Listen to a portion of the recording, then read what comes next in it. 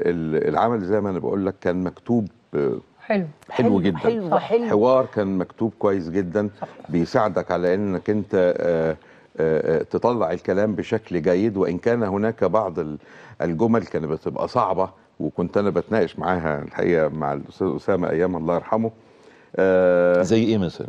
زي في مشاهد بيني وبين نسرين. آه, في الفلسفة آه فلسفية بيقول كلها. لها فيها منتهى الحب في منتهى الكره في نفس الوقت. يعني بيقول لها إن أنا آه، قد كل ال- الدنيا قد البحر قد الشمس قد النجوم قد قد قد قد. المفروض إن أنا أحبك. قد دول كل دول أنا بكرهك.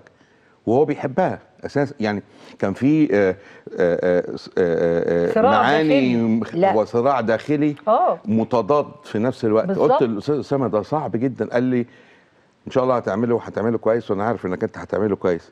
فالحمد لله يعني. هو بتوجيهات الأستاذ إسماعيل عبد الحافظ وبجودة وامتياز الكتابة والحوار والسيناريو بنقدر نحط نفسنا على التراك على إلى جانب طبعا إن الواحد بيبذل مجهود عشان يبقى كويس.